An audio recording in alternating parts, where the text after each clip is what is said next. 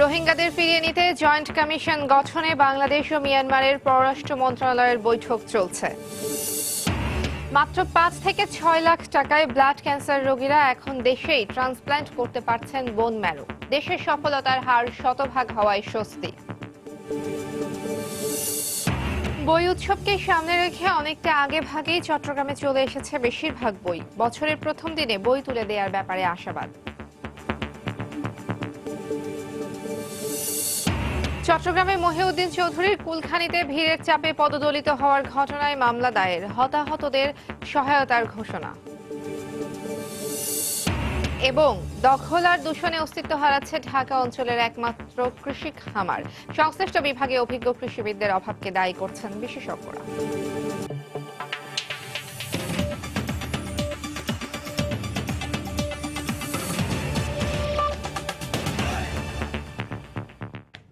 সময় সংবাদের সঙ্গে আছি আমি তাহিয়া রুবাইয়াত অপলা।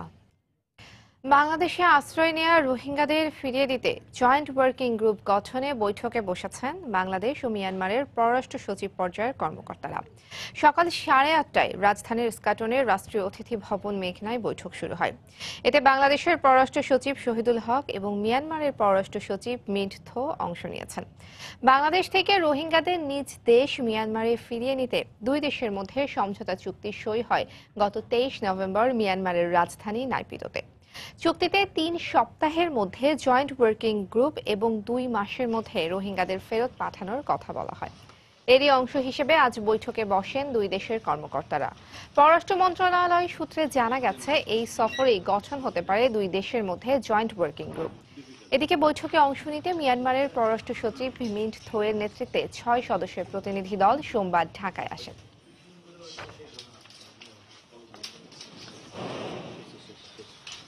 লোক বেশি তো ভাই একটু লাগে দর্শক এই মুহূর্তে সেখানে আছেন আমাদের রিপোর্টার এহসান জুয়েল। আমরা এখন সরাসরি চলে যাচ্ছি তার কাছে। জুয়েল। আপলা আপনি যেমনটি বলছিলেন যে এই মাসেরই চোদ্দ তারিখের মধ্যেই কিন্তু এই জয়েন্ট ওয়ার্কিং গ্রুপটি গঠন করার কথা ছিল। যদিও এ মাসের উনিশ তারিখ আজ তার মানে প্রায় পাঁচ দিন পরে। নির্ধারিত সময়ের প্রায় পাঁচ দিন পরে এই গ্রুপটির গঠনের উদ্দেশ্যে আজ বৈঠকটি শুরু হচ্ছে রাষ্ট্রীয় অতিথি ভবন মেঘনায়। এর আগে কিন্তু গত মাসের তেইশ নভেম্বর মিয়ানমারের রাজধানী নাইপিদোতে দুদেশের মধ্যে মন্ত্রী পর্যায়ে সমঝোতা হয়েছিল এবং সেই সমঝোতায় দুই মাসের মধ্যে রোহিঙ্গাদের ফিরে নেওয়ার বিষয়টি যেমন উল্লেখ করা ছিল, তেমনি সমঝোতার কিংবা ফিরে নেওয়ার প্রাথমিক প্রক্রিয়া হিসাবে এই জয়েন্ট ওয়ার্কিং গ্রুপ গঠনের বিষয়টি উল্লেখ করা ছিল। যদিও এই জয়েন্ট ওয়ার্কিং গ্রুপ গঠন নিয়ে দুদেশের মধ্যেই বেশ কয়েকবার চিঠি চালাচালি হয়েছে, বাংলাদেশের পক্ষ থেকে গত দুই নভেম্বরই কিন্তু মিয়ানমার সরকারের কাছে প্রস্তাবটি পাঠিয়ে দেওয়া হয়েছিল। পরবর্তীতে মিয়ানমার সরকার যাচাই বাছাই শেষে এই মাসের এক তারিখ, অর্থাৎ পহেলা ডিসেম্বর, সেটি বাংলাদেশের কাছে পাঠায়, আর বাংলাদেশের পক্ষ থেকে ফিরতি যে প্রস্তাবনাটি ছিল, সেটি দশ ডিসেম্বর তাদের কাছে পাঠানো হয়েছিল। কয়েক দফা চিঠি চালাচালির ফলেই কিন্তু আজকের এই বৈঠকটি, যেটি আজ সকাল আটটা নাগাদ শুরু হয়ে গিয়েছে। দুদেশের পররাষ্ট্র সচিব পর্যায়ে দুদেশের পররাষ্ট্র সচিবরা এই বৈঠকে নেতৃত্ব দিচ্ছেন। এবং বাংলাদেশের পক্ষে কিন্তু স্বরাষ্ট্র মন্ত্রণালয়, দুর্যোগ ও ব্যবস্থাপনা মন্ত্রণালয়, কক্সবাজারের জেলা প্রশাসক এবং এছাড়াও এখানে রয়েছেন বিজিবি এবং বিভিন্ন গোয়েন্দা সংস্থার প্রতিনিধিরাও। এবং তাদেরকেই বাংলাদেশ সরকারের পক্ষ থেকে জয়েন্ট ওয়ার্কিং গ্রুপে সদস্য হিসেবে রাখার প্রস্তাবনা দেওয়া হয়েছে। যদিও বাংলাদেশ সরকার যেহেতু বড় আকারেই এই জয়েন্ট ওয়ার্কিং গ্রুপটি করতে চায়, এই বিষয়ে নিয়ে কিন্তু মিয়ানমার সরকারের দ্বিমত রয়েছে। তারা খুবই সীমিত আকারে জয়েন্ট ওয়ার্কিং গ্রুপটি করতে চায় বলে আমরা এখন পর্যন্ত জানতে পেরেছি। এইসব বিষয় নিয়েই কিন্তু আজকের এই বৈঠকে আলোচনা হবে এবং আলোচনাটি বেশ দীর্ঘ সময় ধরে হতে পারে বলে আমরা জানতে পেরেছি। সকাল আটটা থেকে শুরু করে প্রায় চার পাঁচ ঘণ্টা আলোচনাটি হতে পারে।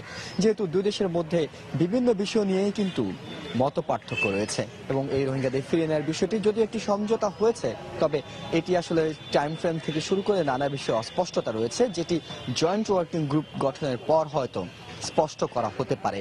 এছাড়া আপনাকে জানিয়ে রাখি যে আজ বৈঠকটি যখন শুরু হয়, তার পরপরই কিন্তু সংবাদ কর্মীদের বৈঠকের ছবি সংগ্রহ করার সুযোগ দেওয়া হয়েছিল। কিন্তু পরবর্তীতে আমরা ধারণা করে নিচ্ছি যে মিয়ানমার সরকারের যে কর্মকর্তারা এখানে উপস্থিত রয়েছেন, পররাষ্ট্র মন্ত্রণালয়, তাদের কেউ হয়তো কথা বলবেন না। বাংলাদেশ সরকারের পররাষ্ট্র মন্ত্রণালয়ের কর্মকর্তারা যদি কেউ কথা বলেন, তাহলে আসলে এই বৈঠকে কি কি ধরনের সিদ্ধান্তগুলো এলো কিংবা আদৌ জয়েন্ট ওয়ার্কিং গ্রুপটি গঠন করা হয়েছে কিনা। যেহেতু জয়েন্ট ওয়ার্কিং গ্রুপের গঠন বিষয় নিয়েও কিন্তু বেশ কিছু মত পার্থক্য রয়েছে দুই দেশের পররাষ্ট্র মন্ত্রণালয়ের কর্মকর্তাদের মধ্যে। সবকিছু মিলে লম্বা সময় ধরে বৈঠক চলাকালীন এই বৈঠকে হয়তো সেই বিষয়গুলো স্পষ্ট করা হতে পারে। দুই দেশের সরকারি পর্যায়ে স্পষ্ট করা গেলেই আমরা আসলে আপনাদের জানাতে পারব যে রোহিঙ্গাদের ফিরিয়ে নেওয়ার বিষয়ে আর কি ধরনের অগ্রগতি হলো। অপলা এই ছিল এখানকার সবশেষ খবর। দর্শক, বাংলাদেশে আশ্রয় নেওয়া রোহিঙ্গাদের ফিরিয়ে দিতে জয়েন্ট ওয়ার্কিং গ্রুপ গঠনে বসেছেন বাংলাদেশ ও মিয়ানমারের পররাষ্ট্র সচিব পর্যায়ের কর্মকর্তারা। এবং তার সবশেষ তথ্য জানাতে আমাদের সাথে সরাসরি যোগ দিয়েছিলেন আমাদের রিপোর্টার এহসান জুয়েল। চলে যাচ্ছি পরবর্তী খবরে। মাত্র পাঁচ থেকে ছয় লাখ টাকায় ব্লাড ক্যান্সার রোগীরা এখন দেশেই বোন ম্যারো ট্রান্সপ্ল্যান্ট করতে পারছেন। বিদেশে চিকিৎসা ব্যয় ছয় থেকে দশ গুণ আর দেশের সফলতার হার শতভাগ হওয়ায় চিকিৎসা নিতে স্বস্তি বোধ করছেন ভুক্তভোগীরা। তবে অর্থের অভাবে এখনও থ্যালাসেমিয়া ও লিউকোমিয়ায় আক্রান্তদের অস্থিমজ্জা প্রতিস্থাপন সম্ভব হয়নি। ভবিষ্যতে এসব রোগীদের চিকিৎসার সুযোগ সৃষ্টির পাশাপাশি ব্যয় কমাতে কার্যকরী পদক্ষেপ নেওয়ার আশ্বাস ঢাকা মেডিকেল কলেজ হাসপাতালের। খলিলুর রহমানের ছবিতে দেখুন মুজাহিদ শুভর রিপোর্ট। তিন বছর আগে ডিএমসিতে বোন ম্যারো ট্রান্সপ্ল্যান্ট করে সম্পূর্ণ স্বাভাবিক জীবনে ফিরেছেন সেলিম। পার্শ্ববর্তী চারটি দেশের ট্রান্সপ্লান্টেশন খরচ তিরিশ থেকে পঞ্চাশ লাখ টাকা জেনে দেশেই ট্রান্সপ্লান্টেশনের সিদ্ধান্ত নিয়েছিলেন তিনি। কম খরচে দেশেই জটিলে চিকিৎসা করতে পেরে খুশি দীর্ঘদিন পর ফলো আপে আসা সেলিম। বাংলাদেশে জানলাম যে পাঁচ থেকে সাত লাখ টাকা লাগবে।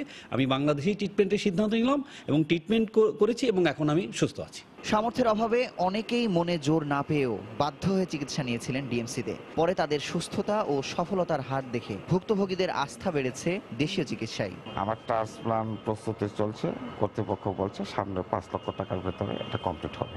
চেন্নাই চিকিৎসা করছি একটা কেমো দিয়ে দেশে এসে আবার পাঁচটা কেমো দিছি। এই বোন মেরু ট্রান্সফারের পর আল্লাহর রহমে একটু সুস্থ আছে প্রথম চয়েস ছিল যে ভারতে গিয়ে অ্যালোজেনিক ট্রান্সপ্লান্ট করব। কিন্তু ওটা একটু ফাইন্যান্সিয়ালি আমাদের জন্য ডিফিকাল্ট হয়ে যেত।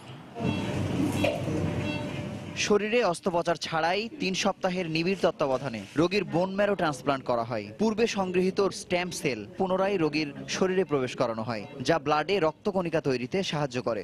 সম্পূর্ণ অত্যাধুনিক ট্রান্সপ্লান্টেশন ইউনিটে প্রতি মাসে একটি করে ট্রান্সপ্লান্ট সম্পন্ন করা হচ্ছে ডিএমসিতে দুটো রোগ নিয়ে এখানে ট্রান্সপ্লান্ট শুরু করেছি মাল্টিপল মায়োলোমা এবং লিম্ফোমা এই দুটো পেশেন্ট যখন ফার্স্ট লাইন কেমোথেরাপি ফেল করে অথবা কোনো কারণে রোগটা আবার ফিরে আসে, তখন তাদেরকে আমাদের ট্রান্সপ্লান্টের অপশন দিতে হয়। ঔষধপত্র, যন্ত্রপাতি, রিয়াজেন্ট কিছুই বাংলাদেশে পাওয়া যায় না। সব কিছু আমাদের বাহির থেকে আনতে হয়েছে। সো এটা বড় ধরনের একটা চ্যালেঞ্জিং ছিল। তাছাড়া আমাদের ডাক্তার নার্স তাকে কেউ এই ব্যাপারে অভিজ্ঞ ছিল না। সবাইকে ট্রেনিং দিয়ে আনা হয়েছে। সাম্প্রতিক জরিপে বর্তমানে দেশে চব্বিশ থেকে পঁচিশ হাজার মানুষের বোন মেরো ট্রান্সপ্লান্টেশন প্রয়োজন। চিকিৎসা ব্যয় নাগালের মধ্যে আনতে দেশের বিত্তবানদের এগিয়ে আসার আহ্বান ডিএমসি পরিচালকের। একটি পেশেন্টও কিন্তু এখন পর্যন্ত মানে মারা যাননি বা জটিল কমপ্লি মানে কমপ্লিকেটেড অবস্থায় তাদের পরিণতি ভোগ করতে হয়নি। সো আমাদের সাকসেস রেট কিন্তু নিয়ারলি হান্ড্রেড পার্সেন্ট বাংলাদেশি যারা বাইরে যাচ্ছেন আশেপাশে দেশে যাচ্ছেন, তারা কিন্তু আমাদের এখানকার সেবাটা গ্রহণ করতে পারে। দুই হাজার চোদ্দ সাল থেকে শুরু হয়ে এখন পর্যন্ত ডিএমসিতে বত্রিশটি বোন মেরো ট্রান্সপ্ল্যান্ট সফলভাবে সম্পন্ন হয়েছে। প্রতিটি রোগীর ট্রান্সপ্ল্যান্ট ব্যয় পাঁচ লাখের সাথে। সরকার ভর্তুকি হিসেবে দিচ্ছে লক্ষাধিক টাকার ওষুধপত্র। তবে আশার খবর হলো, নতুন বছরের শুরুতে ডিএমসিতে অ্যালোজেনিক বোন মেরো ট্রান্সপ্ল্যান্টও সম্ভব হবে বলে মনে করছেন ডিএমসি কর্তৃপক্ষ। মুজাহিদ শুভ, সময় সংবাদ, ঢাকা। বই উৎসবকে সামনে রেখে এবার অনেকটা আগে ভাগেই বন্দরনগরী, চট্টগ্রামে চলে এসেছে বেশিরভাগ বই। প্রাথমিক পর্যায়ে ছিয়াত্তর শতাংশ, মাধ্যমিক পর্যায়ে ইতিমধ্যে পঁচাত্তর শতাংশ বই চলে এসেছে বলে জানিয়েছে শিক্ষা কর্মকর্তারা। আর বছরের প্রথম দিন শিক্ষার্থীদের হাতে নতুন বই তুলে দিয়ে উৎসব পালনের বিষয়ে আশাবাদী বিদ্যালয়ের প্রধান শিক্ষকরা। আশরাফুল আলম মামুনের ক্যামেরায় বিস্তারিত জানাচ্ছেন পার্থপ্রতিম বিশ্বাস। অন্যান্য বছর বই উৎসবের পরও অনেক শিক্ষা প্রতিষ্ঠানে শিক্ষার্থীদের হাতে তুলে দেওয়া সম্ভব হয়নি নতুন বই। তাই এবার অনেকটা আগে ভাগেই প্রাথমিক ও মাধ্যমিক পর্যায়ের বইগুলো স্কুলে পাঠিয়ে দিয়েছে কর্তৃপক্ষ। চট্টগ্রামে প্রাথমিক পর্যায়ে চার হাজার সাতশো পঁচিশটি শিক্ষা প্রতিষ্ঠানে এগারো লাখ নয় হাজার একশো সাঁত্রিশ জন শিক্ষার্থীর জন্য বইয়ের চাহিদা রয়েছে একান্ন লক্ষ তিনশত ছেষট্টিটি। আর এই পর্যন্ত বই এসে পৌঁছেছে চল্লিশ লাখের মতো। সরকার আগে থেকে ব্যবস্থা নিয়েছে যাতে আমরা ঠিক সময় বইগুলো পেয়ে যাই এবং প্রত্যেকটা স্কুল যাতে সবার পার্টিসিপেশনের মাধ্যমে জনগণ সহ আনন্দ আনন্দের মাধ্যমে বই বিতরণ উৎসব পালন করা যায়। প্রাথমিকের সাথে পাল্লা দিয়ে মাধ্যমিক পর্যায়ে চলে এসেছে বেশিরভাগ নতুন বই। জেলা উপজেলা ও মহানগরীর ইংরেজি ও বাংলা ভার্সনে শিক্ষার্থীর সংখ্যা সাত লক্ষ আটচল্লিশ হাজার বিরানব্বই জন। এক্ষেত্রে বইয়ের মোট চাহিদা এক কোটি সাতাশি লক্ষ দুই হাজার পাঁচশত পঁচাত্তরটি। চাহিদার পঁচাত্তর শতাংশ বই ইতোমধ্যে চলে এসেছে। প্রতিদিন প্রতিনিয়ত বই আসতেছে। আমরা দুই হাজার আঠারো এর এক জানুয়ারি খুব নির্বিঘ্নে এবং আনন্দমুখর পরিবেশে বই উৎসব পালন করতে পারব এবং শিক্ষার্থীদের হাতে বই পৌঁছে যাবে ইনশাল্লাহ এসসি পরীক্ষা পিএসসি পরীক্ষার কারণে একটু পিছিয়ে গেছে বার্ষিক পরীক্ষার কারণে। ইনশাল্লাহ আমরা কয়েকদিনের মধ্যে বই দিয়ে দিব বাকি বই দিয়ে দিব। এবার অনেক আগেই বই চলে আসায় বছরের প্রথম দিন শিক্ষার্থীদের হাতে নতুন বই তুলে দেওয়ার ব্যাপারে আশাবাদী বিদ্যালয়ের প্রধান শিক্ষকরা। প্রচ্ছদ আলাদা আছে বইয়ের খুব সুন্দর মলাট। আমার মনে হয় বাচ্চারা খুব উৎসাহ হবে এবার বইগুলি হাতে পেয়ে। এবার কিন্তু বই অনেক আগে আছে। সমাপনী পরীক্ষার সময় আসে গেছে বই। তো উদ্বোধন আমরা ইনশাল্লাহ এই, আনন্দমুখর পরিবেশে উদ্বোধন করতে পারব। এছাড়া ইত্তেদায়ী ও দাখিল পর্যায়ে এক লাখ পঞ্চান্ন হাজার তিনশত পাঁচজন শিক্ষার্থীর শতভাগ বই চলে এসেছে বলে জানানো হয়। পার্থপ্রতিম বিশ্বাস সময় সংবাদ চট্টগ্রাম। সময় সংবাদে আরও থাকছে।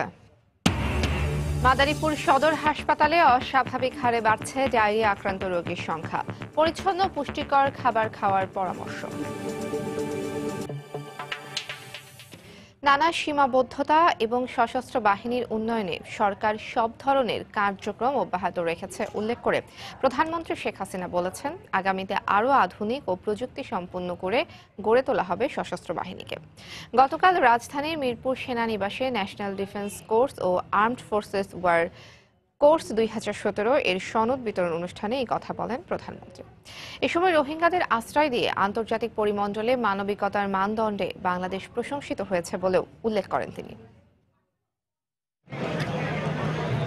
জাতীয় নিরাপত্তা নিশ্চিত করতে বিভিন্ন বিষয়ে অধ্যয়ন, গভীর পর্যবেক্ষণ এবং উচ্চতর গবেষণার জন্য উনিশশো ছিয়ানব্বই সালে মিরপুর সেনানিবাসে স্থাপিত হয় ন্যাশনাল ডিফেন্স কলেজ, যেখানে প্রতি বছর সামরিক ও বেসামরিক প্রশাসনের ঊর্ধ্বতন কর্মকর্তারা দেশ পরিচালনায় কৌশলগত প্রশিক্ষণ নিয়ে থাকেন।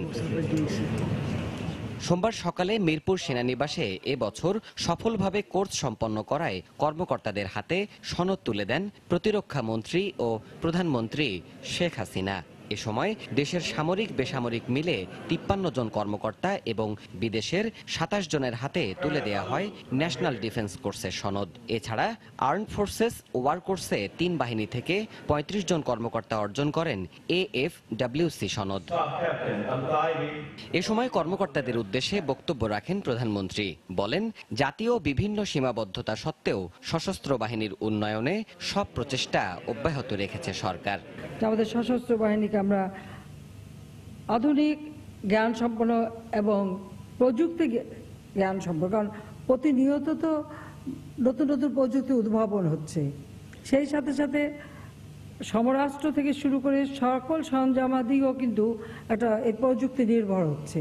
কাজে আমাদেরকেও সেই সাথে তাল মিলিয়ে শিক্ষা গ্রহণ করতে হবে ট্রেনিং নিতে হবে সেটাই আমি বিশ্বাস করি। প্রধানমন্ত্রী বলেন মিয়ানমার থেকে আসা রোহিঙ্গাদের আশ্রয় নিরাপদ করা সহ দেশের বিভিন্ন উন্নয়নমূলক কর্মকাণ্ডে সশস্ত্র বাহিনীর অবদান উজ্জ্বল। মানবিকতা মানদণ্ডে বাংলাদেশ আজ বিশ্বব্যাপী একটা মর্যাদাপূর্ণ অবস্থানে স্থান করে নিতে সক্ষম হয়েছে। আমাদের সশস্ত্র বাহিনী তো শুধুমাত্র ক্যাম্পে বসে থাকার জন্য না, এখানে আমাদের দেশটাকে গড়ে তুলতে হবে। যে কারণে আজকে আমাদের যে কোনো উন্নয়নের কাজে আমাদের সশস্ত্র বাহিনী সম্পৃক্ত থাকছে। পরে কর্মকর্তাদের সাথে কুশল বিনিময় করেন প্রধানমন্ত্রী শেখ হাসিনা।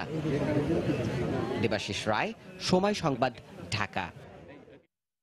এদিকে গতকাল বিকেলে গণভবনে প্রধানমন্ত্রী শেখ হাসিনার সঙ্গে সাক্ষাৎ করেন মুক্তিযুদ্ধে অংশগ্রহণকারী ভারতীয় ও রাশিয়ার সশস্ত্র বাহিনীর বীর যোদ্ধারা এ সময় প্রধানমন্ত্রী বলেন, একাত্তরের মুক্তিযুদ্ধে ভারত ও রাশিয়া যেভাবে পাশে দাঁড়িয়েছিল, তা কখনোই ভুলবে না বাংলাদেশের মানুষ। প্রধানমন্ত্রী বীর যোদ্ধাদের সঙ্গে শুভেচ্ছা বিনিময়ের পাশাপাশি তাদের কুশল জানতে চান। মুক্তিযুদ্ধের সময় সাহসী ভূমিকার জন্য এসব বীর যোদ্ধার প্রতি কৃতজ্ঞতা জানান প্রধানমন্ত্রী। অনুষ্ঠানে ভারত ও রাশিয়ার সশস্ত্র বাহিনীর বীর যোদ্ধারা একাত্তরের স্মৃতিচারণ করেন বর্তমানে এই দুই দেশের সঙ্গে বাংলাদেশের বন্ধুত্বপূর্ণ সম্পর্কের কথা উল্লেখ করে প্রধানমন্ত্রী বলেন এই সম্পর্ক অটুট থাকবে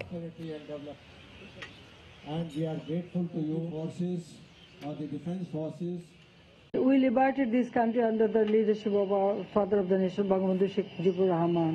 You give us all kind of support and you yourself fight with our freedom fighter. So I'm, we feel honored that you accepted our invitation and you have come to Bangladesh. It is your country anytime. I, you, I mean, I invite you anytime you want, you can come and you can stay. Bengali people always remember what you have done for the country গতকাল আসকার দিঘির পার এলাকার Rima community সেন্টারে একজনের হাত থেকে পড়ে যাওয়া মুঠো ফোন সেট কুড়োতে গিয়ে দুর্ঘটনা ঘটেছিল বলে জানিয়েছেন কাউন্সিলর জুহুলাল হাজারি। এ ঘটনায় নিহত ঝন্টু দাসের ভাই অরুণ দাস বাদী হয়ে চকবাজার থানায় মামলা করেছেন। এদিকে হতাহতদের পরিবারকে সব ধরনের সহায়তার ঘোষণা দিয়েছে প্রশাসন ও আওয়ামী লীগ নেতারা। গতকাল দুপুরে চট্টগ্রামের সাবেক মেয়র এবং নগর আওয়ামী লীগের সভাপতি সদ্য প্রয়াত বি এম মহিউদ্দিন চৌধুরীর কুলখানি উপলক্ষে আয়োজিত মেজবানের শুরুতেই নগরীর আশকার দিঘির পার এলাকার রিমা কমিউনিটি সেন্টারে পদদলিত হয়ে অন্তত দশ জনের মৃত্যু হয়।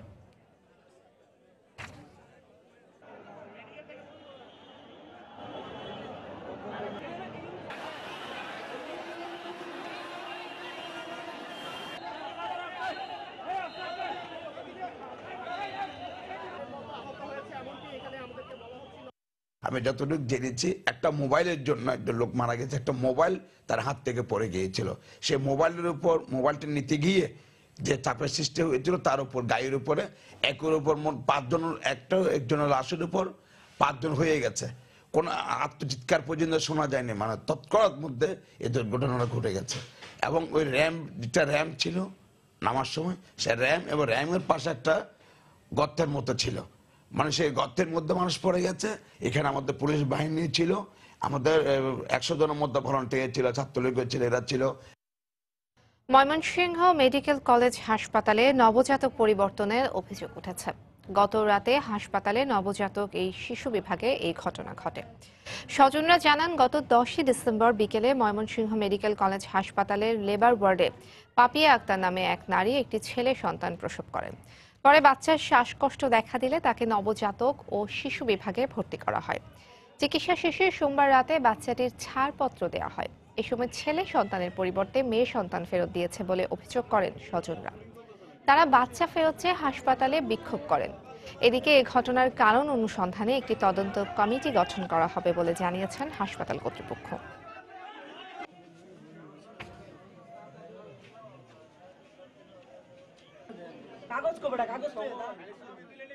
বাচ্চা ছেলে। আমি নিজে টুকিন টুকিন বান্ধা দিছি আর তো আমার নাম আমার স্বামীর টুকিন। ওই মেয়ের হাত পা গেল কীভাবে? আমার এক কথাই আমার বাচ্চা যেভাবে আসিল আমার বাচ্চা ফেরত দিবে। যেদিন থেকে ভর্তি হয়েছে আজ পর্যন্ত সব কাগজ যেগুলো আমাদের ভর্তি টিকিট আছে যে বাচ্চাগুলো এখন আছে সেগুলোর সাথে মিলিয়ে দেখছি। পরবর্তীতে যদি দেখা যাচ্ছে যে না আমরা কোনো জায়গায় মিলাতে পারলাম না তাহলে আমরা ডিএনএ টেস্টে যাব। বাচ্চার গার্জিয়ানের কাছে যে ট্যাগটা সরবরাহ করা হয়েছে সেখানে মেল লেখা আছে ছেলে লেখা আছে কিন্তু বাচ্চাটা এখন মেয়ে। তো সুতরাং কোথায় এই ইয়েটা, সমস্যাটা হয়েছে, কোথায় কোনো ব্যত্যয় ঘটেছে কিনা, সেটা তদন্ত, একটা বিষয় তদন্ত না করে সেটা বলা যাবে না। সরকারি কয়েকটি সংস্থার কাজে জমি হস্তান্তর করা সহ বিভিন্নভাবে দখল আর দূষণে অস্তিত্ব হারাচ্ছে ঢাকা অঞ্চলের একমাত্র কৃষি খামার। দীর্ঘদিনের পুরনো খামারটি সংরক্ষণে কোনো মাস্টার প্ল্যান নেই কৃষি উন্নয়ন কর্পোরেশনের। বিশেষজ্ঞরা বলছেন, সরকারের কৃষি সংশ্লিষ্ট বিভাগগুলোতে দক্ষ ও প্রবীণ কৃষিবিদদের ঘাটতি থাকায় খামারগুলো থেকে প্রত্যাশিত সুফল মিলছে না। বিস্তারিত কাজল আবদুল্লাহ রিপোর্টে। বর্ষায় জলাবদ্ধ আর শীত মৌসুমে ধীরে ধীরে পরিণত হয় শুকনো জমিতে। রাজধানীর গাবতলী বাস টার্মিনালের পেছনে বেরিবাঁধ সংলগ্ন এই বিশাল জায়গাটি বাংলাদেশ কৃষি উন্নয়ন কর্পোরেশন বিএডিসির দৃষ্টির আড়ালে থাকলেও এটি ঢাকা অঞ্চলের একমাত্র কৃষি খামার। কাগজে কলমে মোট জায়গা একশো সতেরো একর হলেও এর প্রায় পঞ্চাশ একর জমি বিএডিসির হাতছাড়া হওয়ার পথে। এর মধ্যে ডিএনসিসি, পানি উন্নয়ন বোর্ড, এনসিডিপি, বিদ্যুৎ বিভাগ ও বাস স্ট্যান্ডের পেছনে রাস্তায় চলে গেছে প্রায় উনত্রিশ একর। অপেক্ষায় রয়েছে ডিএনসিসির প্রস্তাবিত সংযোগ সড়ক ও মেট্রো রেলের ডিপোর জন্য আরও বাইশ একর জমি। এছাড়া প্রতিনিয়ত বর্জ্য ফেলে বাস স্ট্যান্ড সংলগ্ন জায়গা দখল চলছেই। এতে প্রয়োজনীয় বীজ উৎপাদন ও খামারটি সংরক্ষণ নিয়ে আশঙ্কায় রয়েছে সংশ্লিষ্ট কর্তৃপক্ষ। ভবিষ্যৎ তো অনেক দূরের কথা। আসলে ঢাকা শহর যেভাবে বাড়ছে, সেক্ষেত্রে ঢাকা শহরের ভিতরে এরকম একটি খামার সংরক্ষণের প্রশ্নে কোনো জটিলতা তৈরি হয়।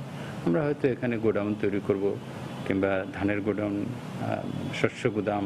শুধু বর্জ্য নয় বিভিন্নভাবে দূষণের কারণে খামারটির পানির সাথে গুণগত মান নষ্ট হয়ে যাচ্ছে মাটিরও। এতে বীজ উৎপাদনের কোনো পরিবেশ নেই বলে মনে করেন বিশেষজ্ঞরা। বীজ উৎপাদনের ক্ষেত্রে ওখানে যে এরিয়াটা ওটার যে এনভায়রনমেন্ট এটা আসলে ন্যাচারাল ল্যান্ড আর এখন নাই। চতুর্পাশ থেকে যেভাবে বিভিন্ন বর্জ্য হিউম্যান ওয়েস্ট আসতেছে তাতে এটা এটা ন্যাচারাল ল্যান্ড বলা যায় না। খামার সংরক্ষণে কৃষি বিভাগে অভিজ্ঞ কৃষিবিদের অভাবও রয়েছে বলে মনে করেন এই কৃষিবিদ। এই যে দত্তনগর ফার্ম নরসিপুর ফার্ম যেগুলি আমাদের কৃষি বিভাগের বলতে গেলে ঐতিহ্য ছিল ফার্মগুলি আউটপুট খুবই কম। বর্তমানে এ খামারে উৎপাদন করা হয় শুধু বোরো ধানের বীজ। নগরায়নের কারণে এখন শুধু নামেই রয়েছে রাজধানীর ফার্মগেট এবং খামার বাড়ি। একইভাবে সংকুচিত হয়ে আসছে বিএডিসির ঢাকা অঞ্চলের এই একমাত্র খামারটি। কোনো সীমানা প্রাচীন না থাকা এবং জায়গার সঠিক ব্যবহার না করায় প্রতিনিয়ত নজর পড়ছে সরকারের বিভিন্ন দপ্তরের। তাই বাস্তবভিত্তিক কর্মপরিকল্পনা নির্ধারণ করে জায়গার সঠিক ব্যবহার এবং সংরক্ষণের পরামর্শ দিয়েছেন বিশেষজ্ঞরা। কাজল আবদুল্লাহ, সময় সংবাদ, ঢাকা। সময় সংবাদে আরও থাকছে। এশিয়া কাপ ঘরের মাটিতে হলে শিরোপা জয়ের সম্ভাবনা আছে বাংলাদেশের, বললেন মাশরাফি। শ্রীলঙ্কা সিরিজে সতীর্থদের সতর্ক থাকার পরামর্শ।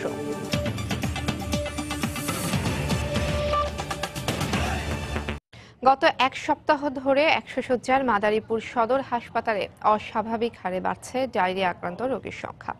হাসপাতাল কর্তৃপক্ষ বলছে, আক্রান্ত রোগীদের চাপে ফ্লোরে চিকিৎসা দিতে হচ্ছে। ভাইরাসজনিত কারণে এই সমস্যা হচ্ছে উল্লেখ করে পরিষ্কার, পরিচ্ছন্ন ও পুষ্টিকর খাবার খাওয়ার পরামর্শ দিয়েছে জেলার স্বাস্থ্য বিভাগ। সঞ্জয় কর্মকার অভিজিতের তথ্য ও শাহাদত আকনের ছবিতে দেখুন ডেস্ক রিপোর্ট। গত কয়েকদিনে মাদারীপুরের ডায়রিয়ার প্রকোপ আশঙ্কাজনক হারে বেড়ে গেছে। রাত দিন সমান্তালে একের পর এক ডায়রিয়া আক্রান্ত রোগী আসছে একশো সজ্জার মাদারীপুর সদর হাসপাতালে। ডায়রিয়া আক্রান্ত রোগীদের জন্য মাত্র ছয়টি আসন থাকলেও প্রতিদিন গড়ে তিরিশ থেকে পঁয়ত্রিশ জন রোগী ভর্তি হচ্ছেন। এর মধ্যে শিশু ও বৃদ্ধের সংখ্যাই বেশি। অবশ্য পরিস্থিতি সামাল দিতে ওষুধ, স্যালাইন সরবরাহ সহ সব ধরনের সহযোগিতা করে যাচ্ছে জেলার স্বাস্থ্য বিভাগ। প্যাডে দেওয়ার পরে পাতলা পায়খানা হয়েছে। তারপরে বাড়িতে কিছু সময় ছিলাম, ভালো হয় না, তারপরে হাসপাতালে ভর্তি হয়েছি। বাবু অসুস্থ হয়ে পড়ছে, তারপরে সদর হাসপাতালে না ভর্তি করছি। এক সিডে আমরা তিনজন, চারজনও থাকি বাহিরের টিকা ওষুধ আনি, এখানে ওষুধ দেয় না। হাসপাতাল কর্তৃপক্ষ জানায় ডায়রিয়ায় আক্রান্ত রোগীর সংখ্যা বেড়ে যাওয়ায় ফ্লোরে চিকিৎসা দিতে হচ্ছে। পাশাপাশি হিমশিম খেতে হচ্ছে সংশ্লিষ্টদের। আমাদের এখানে ছটা বেড আছে। ছটা বেডে দেখা যায় প্রতিদিনে তিরিশটা পঁচিশটা মানে চল্লিশটা রোগী অ্যাডমিশন হয়। তা সেক্ষেত্রে বোঝা যায় আমরা রোগীর বিছানা দিতে পারি না। এখন যেহেতু ঋতু পরিবর্তন হচ্ছে ঋতু পরিবর্তনের সময় সাধারণত দেখা যায় যে ভাইরাল ডায়রিয়ার আক্রমণটা একটু বেশি হয়। আমরা চিকিৎসার মধ্যে স্যালাইন অ্যান্টিবায়োটিক এবং বাচ্চাদের ক্ষেত্রে জিঙ্ক ব্যবহার করছি। জেলার স্বাস্থ্য বিভাগের শীর্ষ কর্মকর্তা জানালেন পুষ্টিহীনতা ও ঠান্ডাজনিত কারণে এ রোগের প্রকোপ বেড়েছে।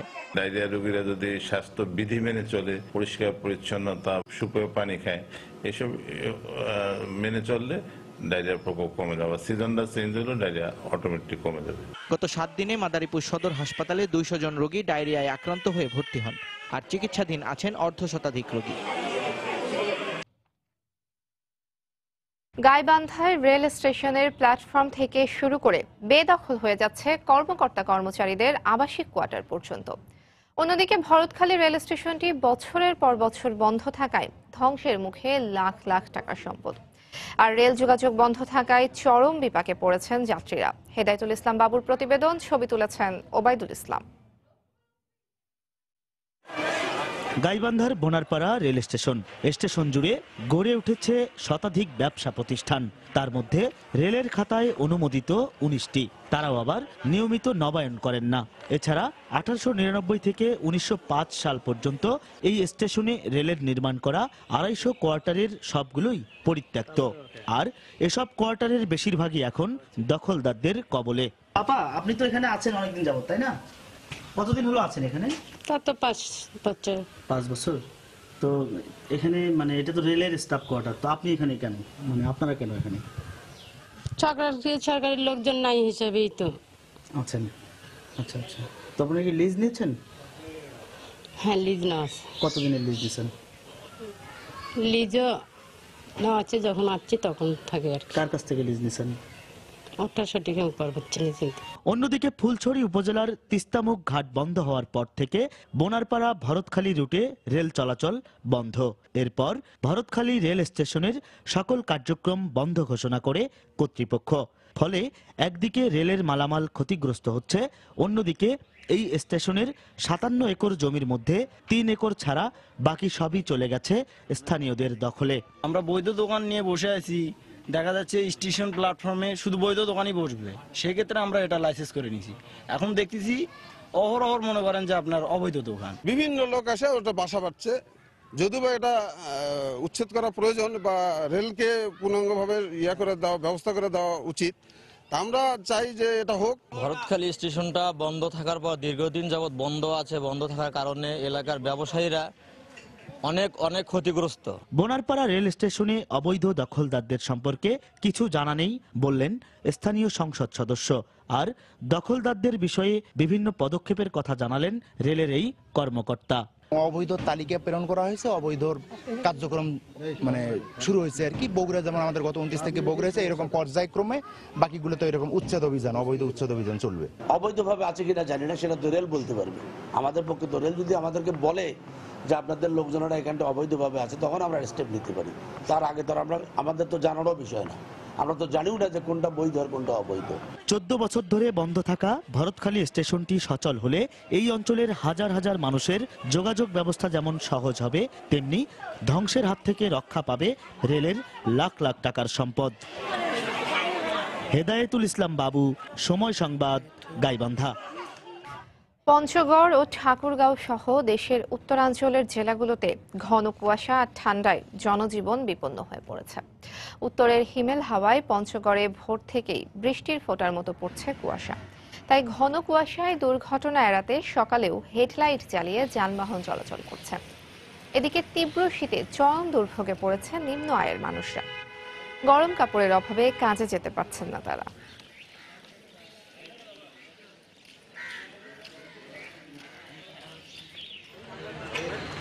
কে পৌষের শুরুতেই শীতের তীব্রতা বেড়েছে ঠাকুরগাঁওয়ে। গত দুদিনে এই জেলায় দেখা মেলেনি সূর্যের। ঘন কুয়াশার চাদরে ঢাকা পড়েছে পথঘাট ও ক্ষেত খামার এ অবস্থায় খড়কুটো জ্বালিয়ে শীত নিবারণের চেষ্টা করছেন অনেকে। আজ মধ্যরাতে শেষ হচ্ছে রংপুর সিটি কর্পোরেশন নির্বাচনের প্রচারণা। আর তাই শেষ মুহূর্তে প্রচারণায় ব্যস্ত সময় পার করছেন প্রার্থীরা। গত কয়েকদিন ভোর থেকেই শীত উপেক্ষা করে বিভিন্ন এলাকায় প্রচারণা চালিয়েছেন তারা। নগরীর বিভিন্ন এলাকায় গিয়ে দাঁড়ে দাঁড়ে ভোটারদের মন জয়ে দিয়েছেন নানা প্রতিশ্রুতি। তবে প্রার্থীদের নিয়ে এখন শেষ সময়ের হিসেব নিকেশে ব্যস্ত ভোটাররা। প্রতিশ্রুতির ফুলছুরি নয়, সৎ ও যোগ্যদেরই নির্বাচিত করতে চান তারা।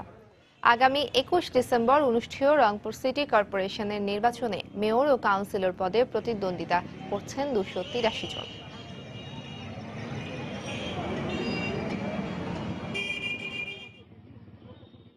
দর্শক, এই মুহূর্তে নগরীর তপোধন এলাকায় আছেন আমাদের রিপোর্টার মানিক সরকার। আমরা এখন সরাসরি চলে যাচ্ছি তার কাছে। মানিক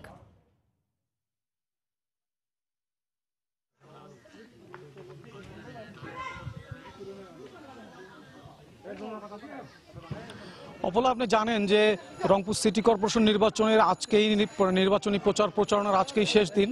তো আজকের এই শেষ দিনটিকে কেন্দ্র করে সারা বাংলাদেশের মানুষের চোখ আজকে এই রংপুরের দিকে। তো এখন আমি যেখানে আছি, এটি হচ্ছে মহানগরীর সাত নম্বর ওয়ার্ডের তপোধন এলাকায়। এখানে বিএনপি প্রার্থী কাউসাজ্জামান বাবলা সাহেবের কিছুক্ষণের মধ্যে আসার কথা রয়েছে। হয়তো কিছুক্ষণের মধ্যে তিনি চলে আসবেন এবং তার যে সমাবেশ, এখানে একটি হবে পথসভা। তার সকল আয়োজনও তিনি সম্পন্ন করেছেন। তো এছাড়া আমরা অন্যান্য এলাকায় সকালে ঘুরে দেখেছি, প্রার্থীরা বেরিয়েছেন, তারা শেষবারের মতো, শেষ দিনের দিন আজকে বিভিন্ন এলাকায় যাচ্ছেন, বিভিন্ন জনের সাথে বৈঠক করছেন এবং জনসংযোগ করছেন। কারণ আজকের দিনটাই হচ্ছে শেষ দিন, আজকেই যাবতীয় প্রস্তুতি তাদেরকে সম্পন্ন করতে হবে। তো আমরা নির্বাচন কমিশনের সাথে কথা বলেছি, তারাও আমাদেরকে জানিয়েছেন যে নির্বাচন সম্পন্ন করতে যে ধরনের প্রস্তুতি নেওয়া লাগে তারা নিয়ে রেখেছেন।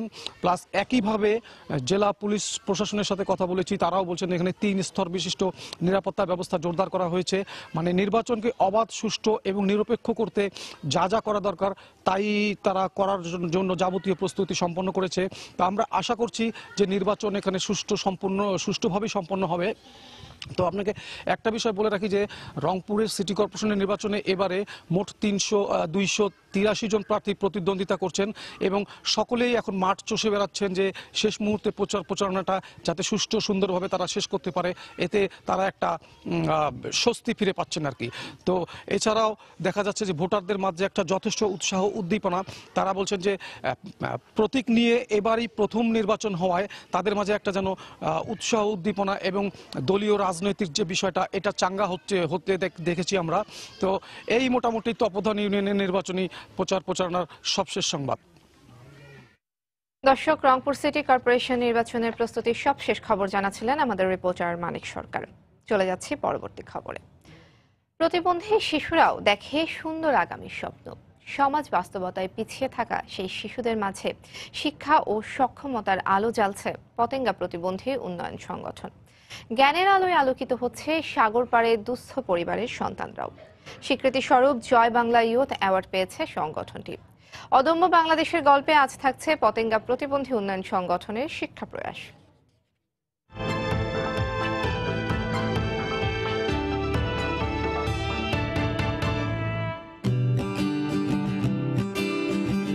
অন্যান্য শিশুর মতো প্রতিবন্ধী শিশুরাও স্বপ্ন দেখে সুন্দর পৃথিবীর। কিন্তু সমাজের রূঢ় বাস্তবতায় তাদের বেঁধে রাখা হয় নির্দিষ্ট গণ্ডিতে। অথচ একটু সুযোগ পেলে তারাও হতে পারে দেশের সম্পদ। দাঁড়াতে পারে মাথা উঁচু করে। শিক্ষা ও প্রশিক্ষণ পেলে তারাও জয় করতে পারে সকল বাধা। সে লক্ষ্যেই দু হাজার নয় সালে গঠন করা হয় পতেঙ্গা প্রতিবন্ধী উন্নয়ন সংগঠন। যাত্রা শুরু স্বপ্ন জয়ের আমি একজন প্রতিবন্ধী আমি চাই এলাকার যেসব প্রতিবন্ধীরা আছে তারাও লেখাপড়া শিখুক তারাও একদিন মানুষের মতো মানুষ হবে অন্যের উপর বোঝা হয়ে থাকতে হবে না। যদি লেখাপড়া করে তারা তাহলে অবশ্যই তারা একদিন ভালো একটা প্রতিষ্ঠানে যেতে পারবে। সেই চিন্তা ভাবনা থেকে আমি আসলে এটা শুরু করছিলাম। প্রাথমিক জরিপের মাধ্যমে তালিকা করা হয় প্রতিবন্ধীদের। যোগ হয় দুস্থ পরিবারের শিশুরাও। সংগঠনটির কার্যালয়ে গড়া স্কুলে নিয়মিত পাঠদানে প্রতিবন্ধীদের মাঝে শিক্ষার আলো জ্বালছেন স্বেচ্ছাসেবীরা। স্বপ্ন দেখাচ্ছেন সুন্দর আগামীর। প্রতিবন্ধী শিশু যারা রয়েছে তারা এখনও এখন বর্তমানে এই অনায়াসে যে কোনো বিদ্যালয়ে তারা পড়তে পারছে যেটা আমাদের সময় তেমন সহজ ছিল না। স্কুলে বাচ্চাদের সাথে খেললে একটু মানে ইয়ে খেলাধুলা হলে একটু জ্ঞানটা বাড়তে পারে। ওরা একজন কি করে না করে দেখতে পারবে একজন দেখে শিখতে পারবে এটা আর কি। নানা সংকট পেরিয়ে সাত বছরে এ সংগঠনটির বিস্তৃত হয়েছে আশপাশের পাড়া মহল্লায়। সমাজ উন্নয়নে এমন অবদানের স্বীকৃতি স্বরূপ এবছর জয় বাংলা ইউথ অ্যাওয়ার্ডের শীর্ষ ত্রিশে ঠাঁই পেল এ সংগঠনটি। সময় সংবাদ, চট্টগ্রাম। সময় সংবাদের শীর্ষ সংবাদগুলো জানিয়ে দিচ্ছি আরেকবার। রোহিঙ্গাদের ফিরিয়ে নিতে জয়েন্ট কমিশন গঠনে বাংলাদেশ ও মিয়ানমারের পররাষ্ট্র মন্ত্রণালয়ের বৈঠক চলছে। মধ্যরাতে শেষ হচ্ছে রংপুর সিটি কর্পোরেশন নির্বাচনের প্রচারণা। প্রার্থীরা ব্যস্ত শেষ মুহূর্তের প্রতিশ্রুতি দিতে। হিসেব নিকেশ করছেন ভোটাররা।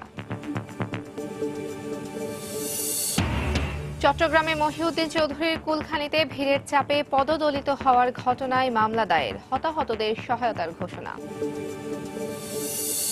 মাত্র পাঁচ থেকে ছয় লাখ টাকায় ব্লাড ক্যান্সার রোগীরা এখন দেশেই ট্রান্সপ্ল্যান্ট করতে পারছেন বোন ম্যারো দেশের সফলতার হার শতভাগ হওয়ায় স্বস্তি। এবং দখল আর দূষণে অস্তিত্ব হারাচ্ছে ঢাকা অঞ্চলের একমাত্র কৃষি খামার। সংশ্লিষ্ট বিভাগে অভিজ্ঞ কৃষিবিদদের অভাবকে দায়ী করছেন বিশেষজ্ঞরা। এই ছিল এখনকার মতো। যে কোনো খবর পেতে ভিজিট করুন সময় নিউজ ডট টিভি যে কোনো বাংলা লিঙ্ক ও রবি নম্বর থেকে সময় সংবাদের খবর অনুষ্ঠান সম্পর্কে জানতে এবং যে কোনো তথ্য সময় সংবাদকে জানাতে ডায়াল করুন one six two four two নম্বরে। এছাড়া এইমাত্র পাওয়া খবর আপনার মোবাইলে পেতে এস এম এস করুন স্টার স্পেস বিএন লিখে পাঠিয়ে দিন one six two four two নম্বরে। সঙ্গে থাকুন সময়।